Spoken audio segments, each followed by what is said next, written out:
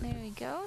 Now, excuse our aerial, it's a bit of a tricky spot where we're in because Seb just spotted them behind us, but they are standing there and they're not moving anywhere, so hopefully we'll be able to have a look at them.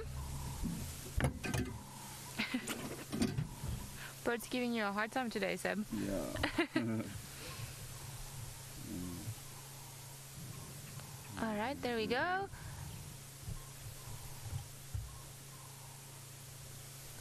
Green pigeons.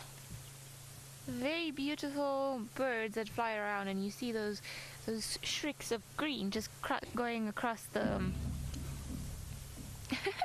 going across the sky. I think Seb is still fighting, but Seb, don't worry, you won already. It's not in the shot.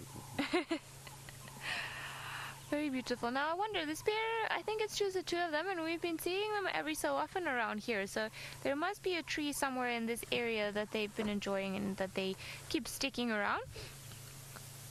But it's good to see them.